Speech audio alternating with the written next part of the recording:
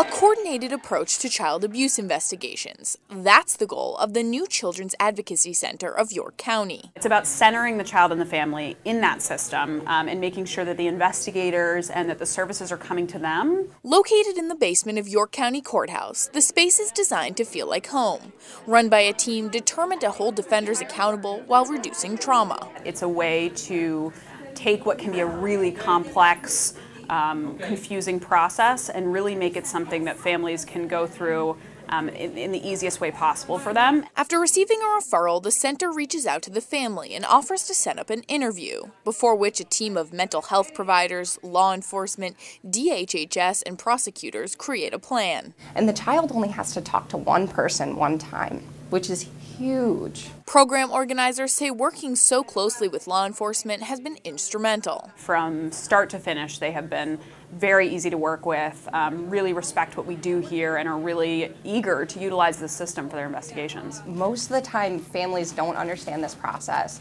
Kids definitely don't understand what is going to happen, and so we try and make it as comfortable as possible, knowing that it's never going to be totally comfortable. In Alfred, Aaron Dixon, WMTW News 8.